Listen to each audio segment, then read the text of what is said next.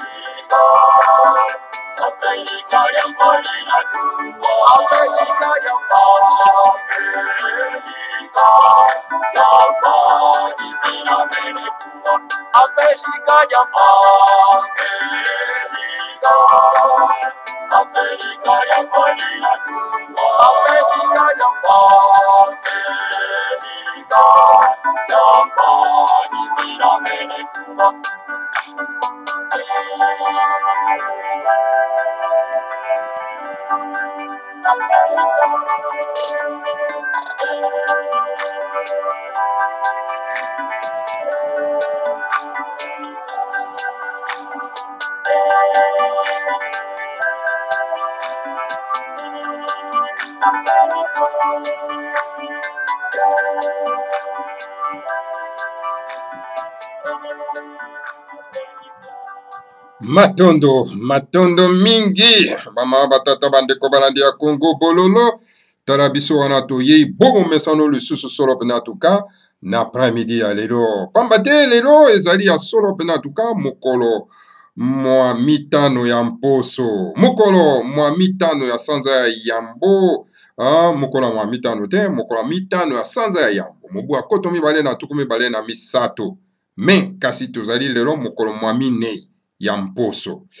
Na yango bamama batata bandeko tozali bongo na ngonga ya zomi na misato na miniti tuku mibale na mibale mm, elingi koloba ete ngonga ya yambo na miniti tuku mibale na mibale ya nsima ya nzanga antuka ezali wa bino molobeli mbuta bopele bobala elingi koloba malamu koloba moko etuka ya bangombe na Grand Equateur,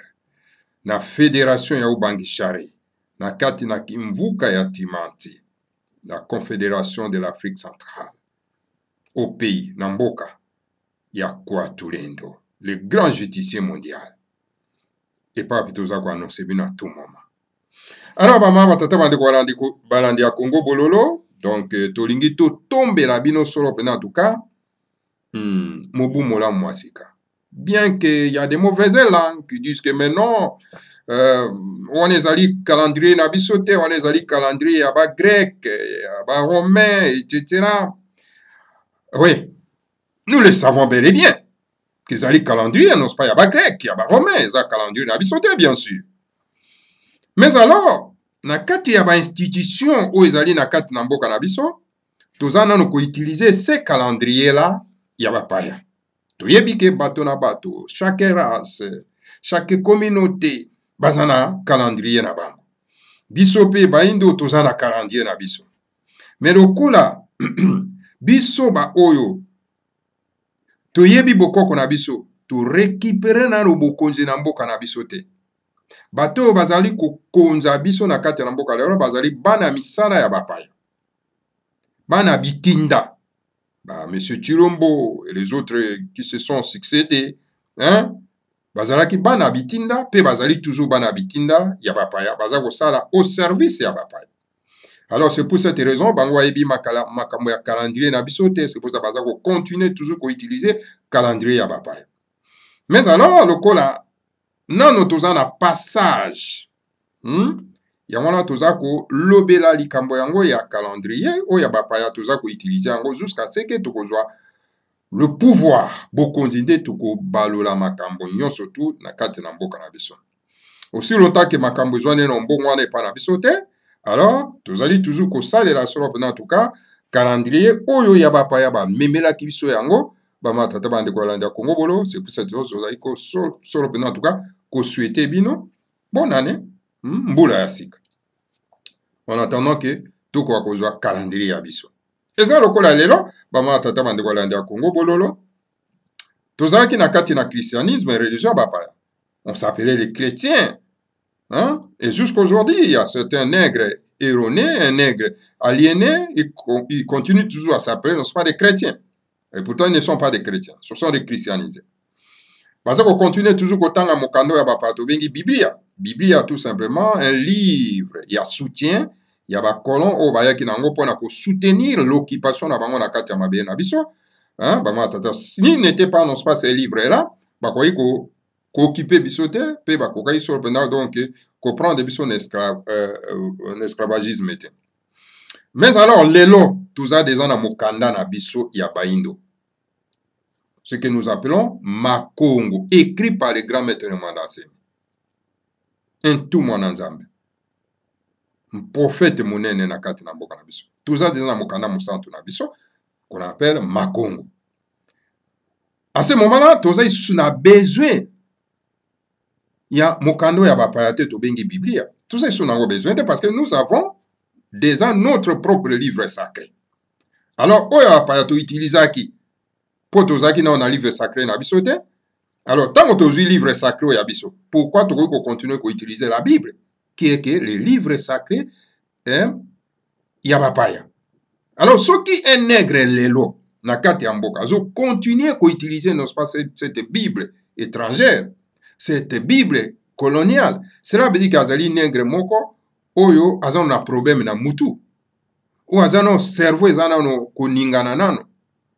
parce que eza na importance moko te ya koutilize la bible aujourd'hui na kati ya mboka na biso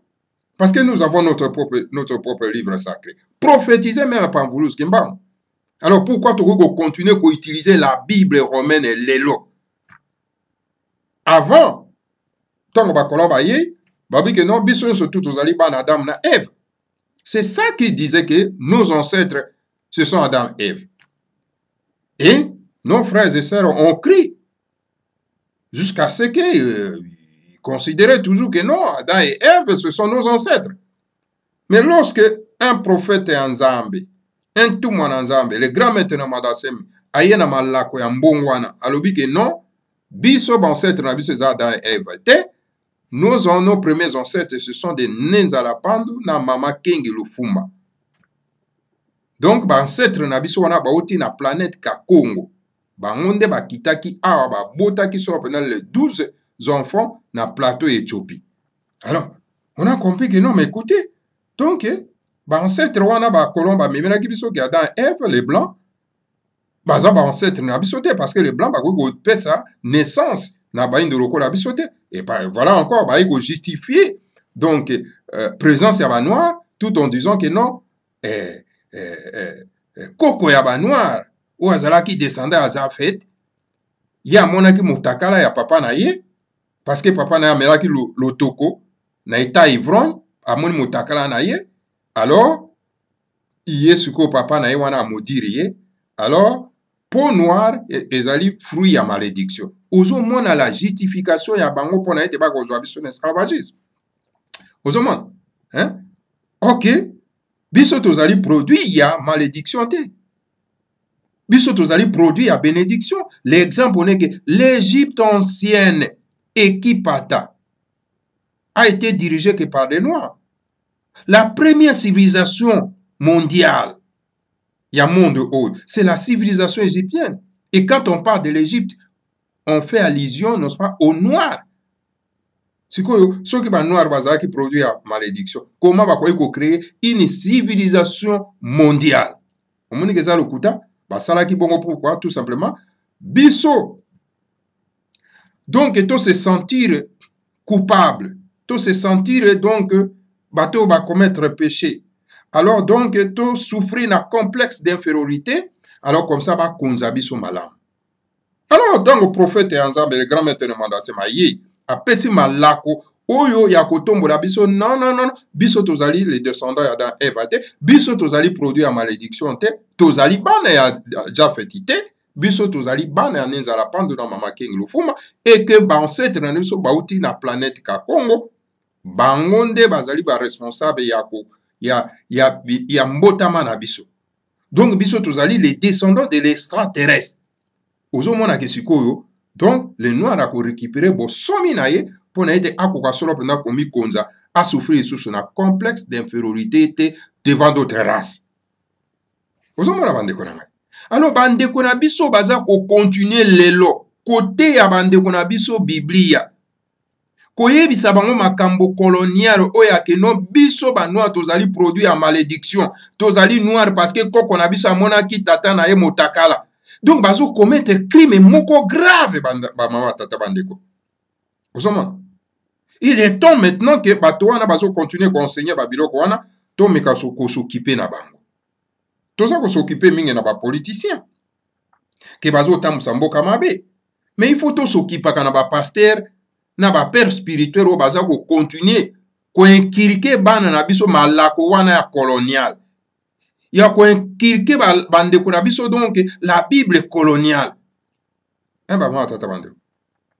alors donc na yango esengeli banoir bakoka solo mpenza kocomprendre que non nous nous avons déjà notre livre euh, euh, euh, euh sacré notre livre saint parce que chaque race esengeli akoka kozala na mokanda mosantu na bango biso banoir tozalaki prive na mokanda mosantu na biso depuis longtemps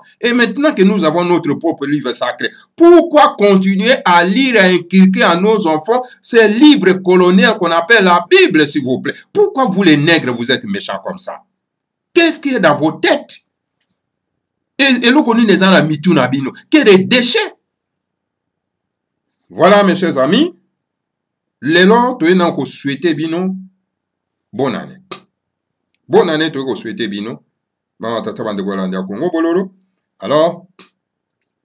na bonane oyo toza kosuete bino na bandeko na biso nyonso balandaka solo mpenza kongo bololo mpe bapartageaka kongo bololo topesi bino solo mpenza bonane bozali vraiment très précieux pour nous parce que vous faites de bon travail hmm? bozosala mosala moko kitoko mbuta na biso mbuta wamba hmm? ya mokonzi ya groupe eh, ya forum de discussion ya débat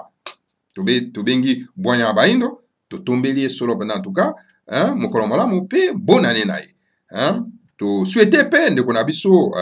uh, le katangais ramazani ye mpe asalaka mosala ya kocontribue ya kodistribue ya kopartage solo mpenza kongo bolo na baimboka en tout cas eza mosala malamu esengeli tozala reconnaissant na bandeko wana mpe na bandeko na biso hein, mama na biso hein, ndeko na biso ya mwasi yaya na biso na nkombo ya yaya maimona fait aussi le même travail ya kopartage nonce pas congo bolo yango toza koswete ye solo mpena en tout cas mobumu molamu masika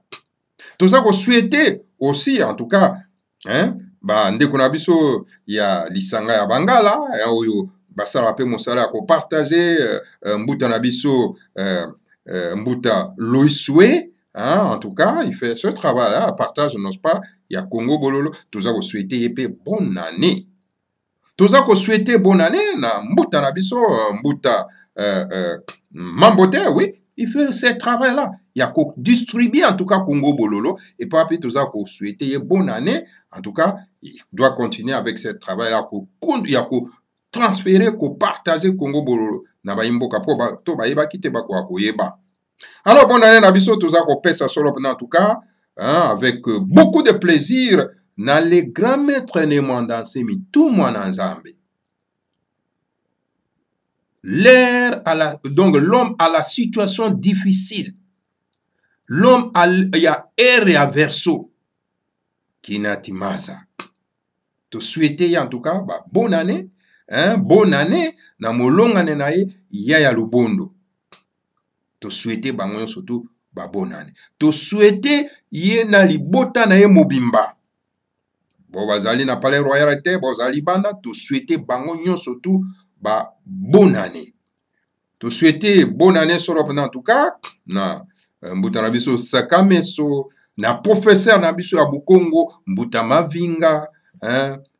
to souhaite bonne année solo mpenza en tout cas na ba bandeko na biso nyonso tu oyo bazalaka na kati na groupe mpona kolanda malongi bambuta mayamba bambuta otia bini mayaka bambuta eh, basombo eh,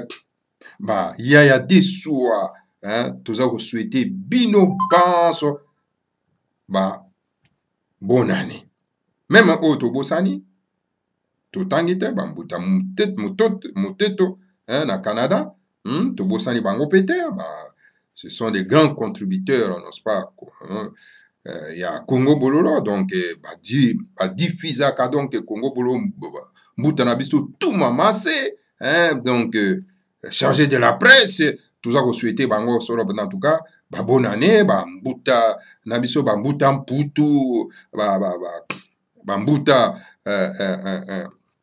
eh luvavuki eh, bambuta nzinga eh, ils sont nombreux ke tokoki kosisa eh, bambuta netedika lwemba bambuta na biso eh, nepaka seda donc baoyo baza vraiment très actif baza kopartage congo bololo donc vraiment babonane na biso bambuta bayelele bango nyonso tu alors bamaya tata bandeko balandi ya congo bololo toye nano tosolola moke lelo uh, tokocontinue nano na, na livre écrit par le grand maître de mandasemi te hein? donc euh, euh, jésus est la bible tokocontinue peut-être alobi mais kasi lelo toloba nano likambo oyo ezoleka na mboka lobi ezalaki le 4 janvier 2023 ezalaki journée moko monene oyo elekaki lobi bamama tata bandeko balanda kongo bolo pourkui le 4 janvier eza journée monene parce que ezali journée oyo eyo edecranchaki donc la libération ya république ya démocratise du congo parce que ezali journée ya bamartyr de l'indépendance grâce ya date wana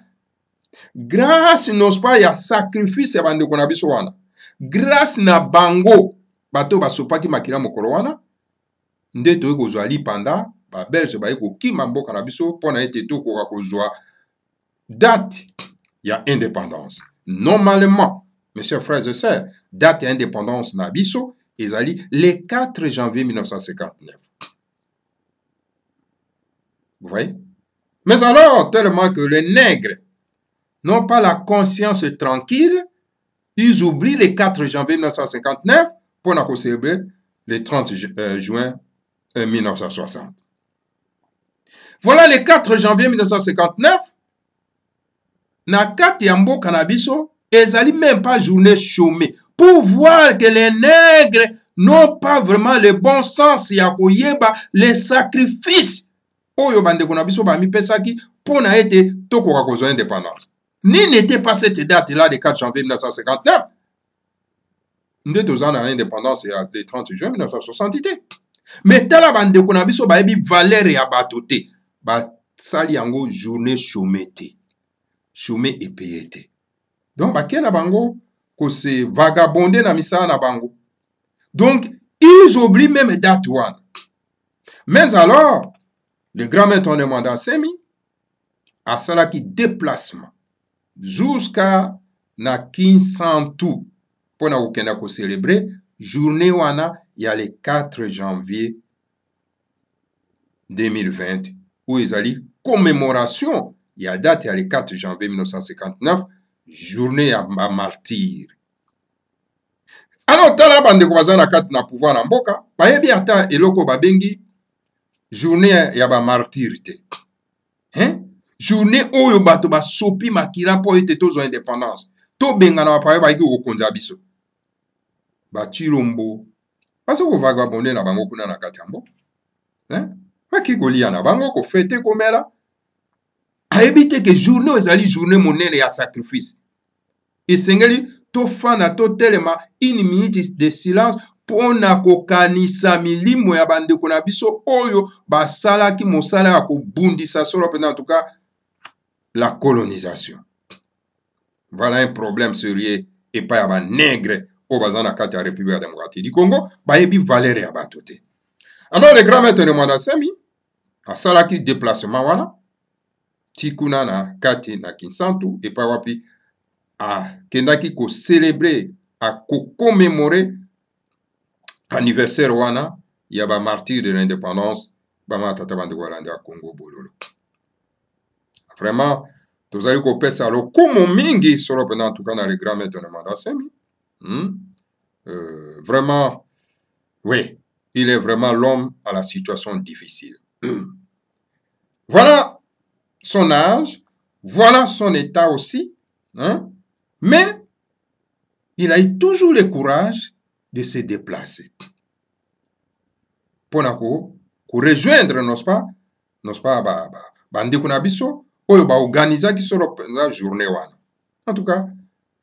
esengeli vraiment donc mama tata bandeko topesa ye vraiment lokumu mpenza lokumu mama tata bandeko ya ndako wana ezali exemple na bino banso bozali encore bagene parce que l'avenir du pays dépend de la jeunesse s'il vous plaît et le grand maître ne mandasemi donne l'exemple il est le modèle à suivre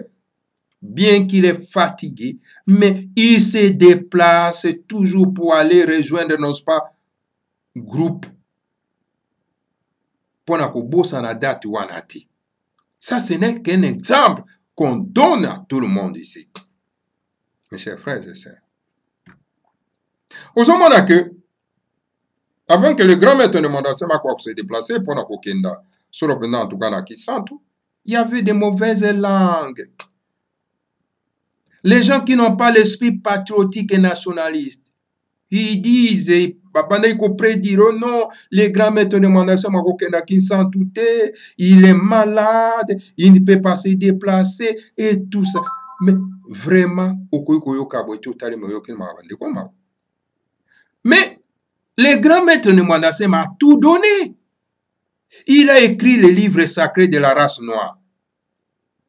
soki bandeko na biso ya mangomba oyo baza na mangomba baza kokoka kointroduire le livre sacré de la race noire te estce ezali faute ya le grand maître na mandasem ezali faute na bango parce que balingi toujours batikala bacolonise oui et le grand maître na mandasemi a écrit mateya oyo etali politiki okoki kotanga mayala 1 jusqu'à mayala 10 mayala 10 donc bato ya mayele bakoki kozwa solo mpenza tuka malako wana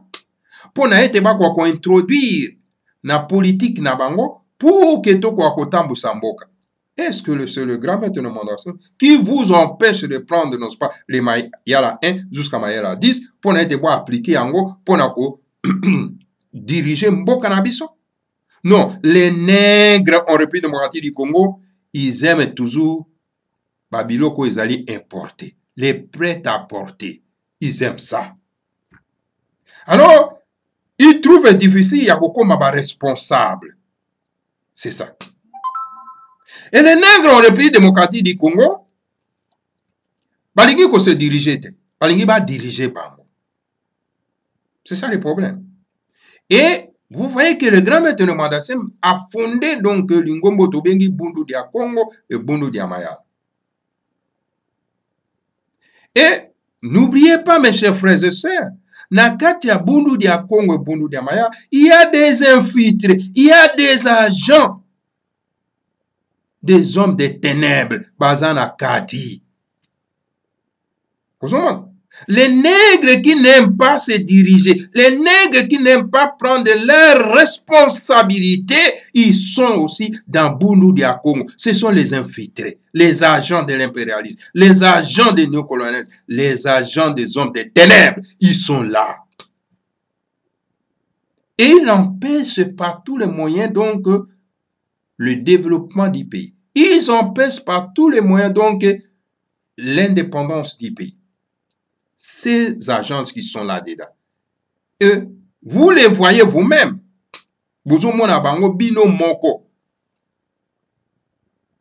bokoyoka bango bazaka na langage ya découragement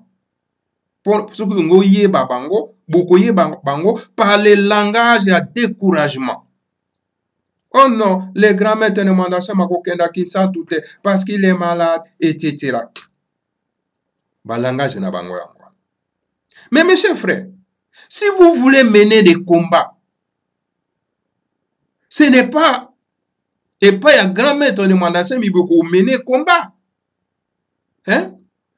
soki le grand maître nemandaseme est malade il ne peut pas se déplacer ce n'est pas à lui qu'il faut s'apprendre mais au contraire il faut s'apprendre plutôt na bato oyo basali que le grand maître de mandasemi akoka kokoma na état peut-être oyo aza na yango lelo monsieur frère vous savez très bien que le terrorisme oyo monsieur chilombo na hippolyte kanambe basalaki le grand maître de mandasemi le 24 avril 2020 na palais royal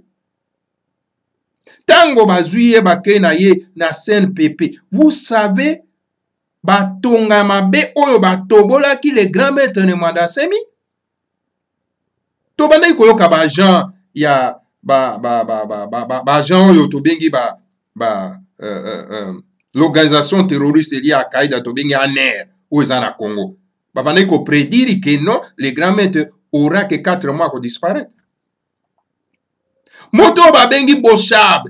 il ne disait pas que non oui mbala oyo tozwi ye mbala oyo tozwi ye ke babaki ye tonga oyo donk ekoparalyse ye voilà les nègres comment ils sont méchants quelqu'un qui est venu leur donner donc la voie de sortie pour ke bamikonza bango moko bamikangola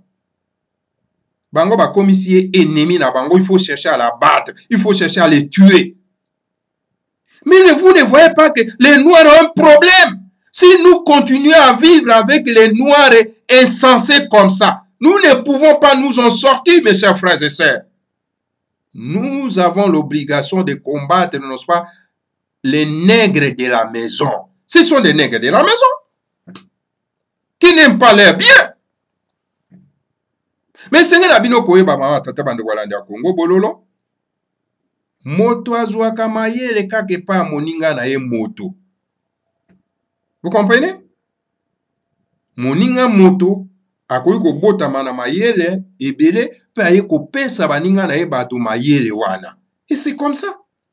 Dieu, ne peut pas, Dieu ne peut pas utiliser tout le monde. Dieu utilise une seule personne pour inculquer le reste ya bamabota la majorité ya bato mais voilà les nègres en république démocratique du congo bango balingi toujours ke bazalaka na systeme wana ya, ya, ya, ya, ya bafulu ils ne veulent pas se développer il veut pas son prendre en charge balingi koasime baresponsabilité na bango te me ntango moto ayei kopesa bango malako buke baasime responsabilité na bango bason prendre en charge bango nde bakomi kolukela liwa en complicité na bapaya oyo bazomona keno moto wana azofungola bandeko na ye miso alors ya un risque ke soki bafungoli miso alors tokoriske kozwa mane oyo ezali kuna na mboka wana alors mes chers frères et sœurs comment yo okoki ko koluka mpo abatre moto oyo selema azali kopesa bino malako ya malamu oyo azali koloba selema pour ke bozwa changement parce que moto esengeli bakritike ye kritike ezali eloko moko ya malamu ekopermetre yo okoka solo mpenza ntuka kotala ndenge ozali kotambwisa mboka mais les nègres qui sont au pouvoir au congo n'aime pas de critique ozomona koluka liwa ya ne grand maître ne mandasemi par les nègres qui sont au pouvoir au congo parce que baza koboya critique ono tobaka ye tonga oyo puka aloba lisusu te eparalize ye aloba lisusu te Mais vous qui êtes le combattant, vous qui êtes en Bundu Diakongo, voilà les gens que vous pouvez non soit vous en prendre. C'est à Chilombo et à Hippolyte Kanambele tout Rwandais. et à tous ces agents là qui font que ba installer le gouvernement moribond oyo eza na kati ya mboka c'est à nous de s'en prendre à ces gens là mes chers amis mais comment ça fait que bino bokoki komake cible na bino boke na bino na cible mosusu donc vous êtes tout simplement que les agents du néocolonialisme boza na bino kaka bato euh, ya cinquième colonne voilà mes chers frères et sœurs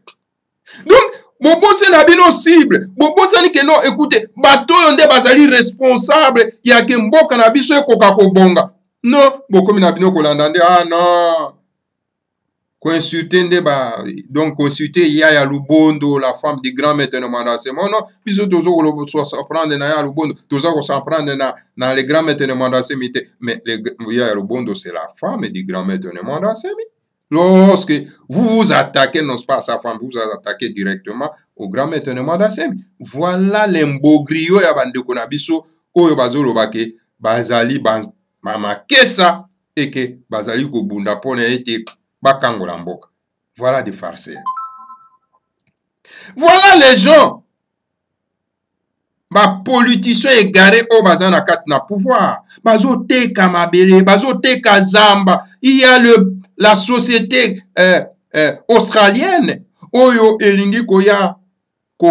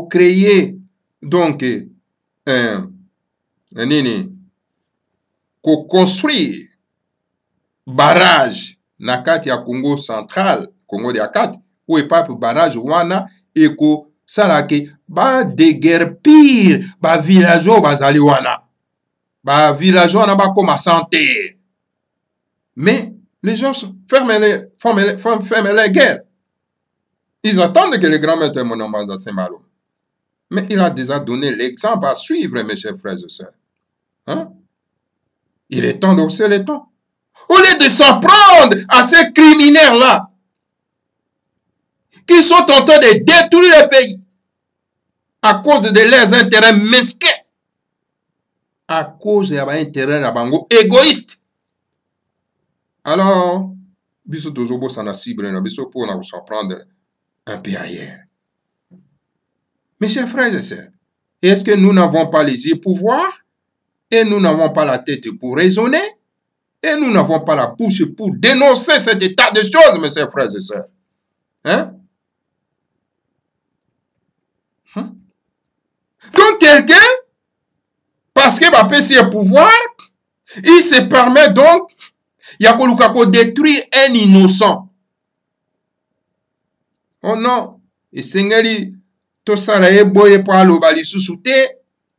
mpo makele na ye ezokomettre biso mal à l'aise ezomettre bino mal à l'aise en quoi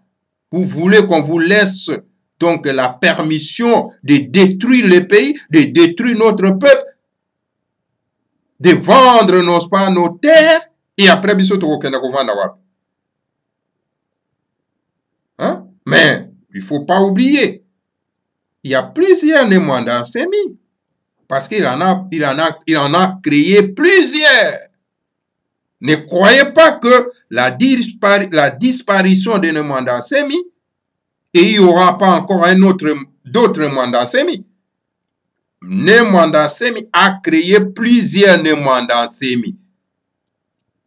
N'oubliez pas, mes chers frères, dans toutes les provinces de la République à démocratiser du Congo.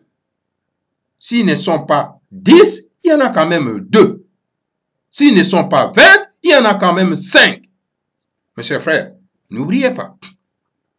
N'oubliez pas. Ne pensez-vous pas que si vous tuez les semi, alors donc le combat est terminé. C'est faux. Je dis bien faux et archi faux. alors bandeko na biso donc euh, voilà il faut tosen prendre en charge moment yango oyo toutiliser notre âme que dieu nous a donné qui est la bouche pour dénoncer pour parler pour critiquer pour se défendre la bouche ezali arme moko ya destruction massive je vous dis l'arme ya destruction massive ezali kaka baarme nucléaire te la bouche monoko eza arme monene oyo nzambe apesi biso mais il faut koyeba komanie yango mes chers frères et sœurs. Voilà, mes chers amis, oyo namekaki koya kopartage na bino na mokolo mwa lelo donc euh, euh, yango wana komeka kotombola solo mpena tuka conscience na bino donc le grand maître nemwanda semi a tout donné hein, malako oyo ekoki solo mpenza na tuka mpo ete tokoka kosaisire yango mpo na ete tokoka kobongisa solo mpenza na tuka euh, mboka na biso tozela nyonso tout est que le grand maître nemwanda asemi asala nous devons travailler nous devons travailler travaillons s'il vous plaît mes chers frères et sœurs travaillons donc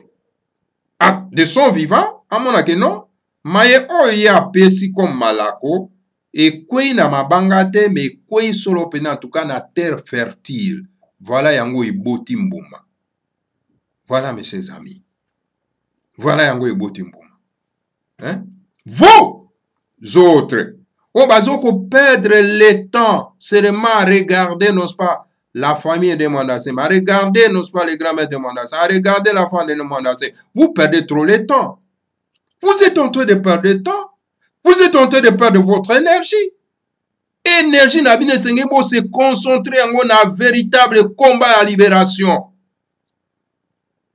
Les gens qui cherchent la mort de Mandassem, mais Seigneur, qu'on s'en prend de la bango.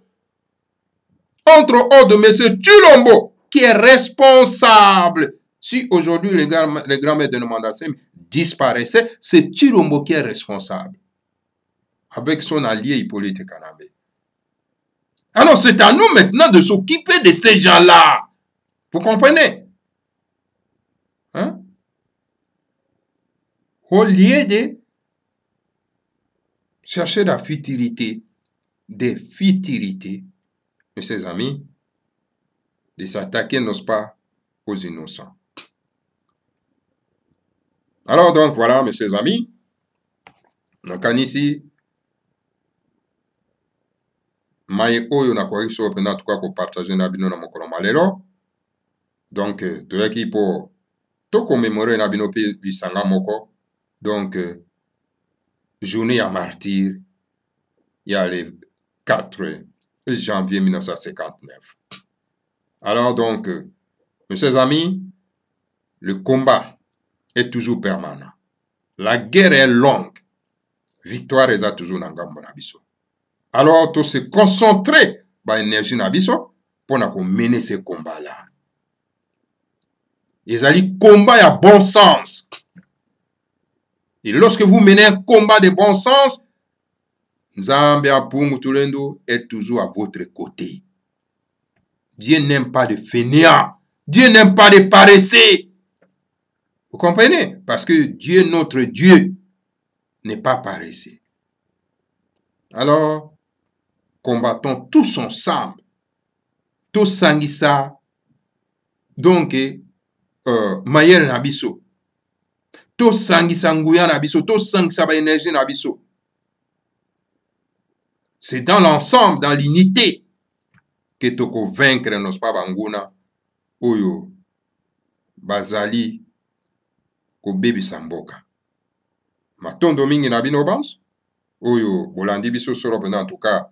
na après midi ya lelo bopartage congo bololo oyo ya liboso ya mwa ya janvier ya mbula oyo parce que mbula oyo ezali mbula ya bitumba l'année de lumière nazoyebisa bino l'année de lumière mbula ya ntemo epa wapi antuka bokomona bandoki nyonso tu bakobima na mpwasa bandoki bakobima na mpwasa parce que euh, euh, simbe ya ntemo ya lumière akobimisa bango na mpwasa okomona na bamangomba nyonso tu bandoki nyonso tu bakobima na mpwasa bokomona bino moko bakokoma lokola babeli kipelekesi bomona bapaster charlatan baza koutilize la force du mal donc nsimbi ya ntemo bakolanda bango kuna mpo na kobimisa bango na mpwasa okokomona bapere spirituele na bino bakobima na kindoki na mpwasa donk ezali ane ya bitumba ane ya bitumba ane ya destruction ane oyo ezali ane ya bainondation ane ya destruction ane oyo ezali epa wapi en tout cas baforce nyonso tu ekobunda baforce nyonso tu baforce ya mai ya mopepe ya mabele ya moto ekobunda mama na tata bandeko ya landa ya kongo bololo oyo ezali ane ya somo sombele suka ya bisanga tokoti na mboka ya bademo tokoti sikoyo na mboka ya bademon bokomona ndenge bademon partout dans toutes les races ndenge bako bakotelema mpo na kobeta na bango na bango bakobunda bango na bango ozomona parceke simbe ya ntemo aye sikoyo kobimisa bango bamama tata bandeko ya landa ya kongo bololo pour que to ya kobima mpo tokɔta na na kinanga voilà mes chers amis en tout cas merci mingi na attention oyo bopesi biso solo mpena en tout cas na kati na congo bololo ya lelo Alors donc, euh, j'espère que vous êtes satisfait et que vous allez bel et bien partager, non pas, ce Congo Bololo à tout le monde, à tous nos frères et sœurs qui dorment encore. merci à vous tous. Que le Seigneur à Congo nous bénisse tous. Bénisse les grands maîtres de Mandansemi, Longue à Congo, de Makandala, le, donc le voyant, donc le grand silencier, hein, l'homme à la situation difficile, et bénisse la terre des Timanti, de la Confédération de l'Afrique centrale. Voilà. Matondo mingi. Bye bye. Au revoir. Ciao, ciao. Donc voilà, natiki bino na loyembo ya bundu dia Congo. Matondo mingi. Ungwame, ungwame bundu dia Congo. Ungwame, ungwame bundu dia Congo.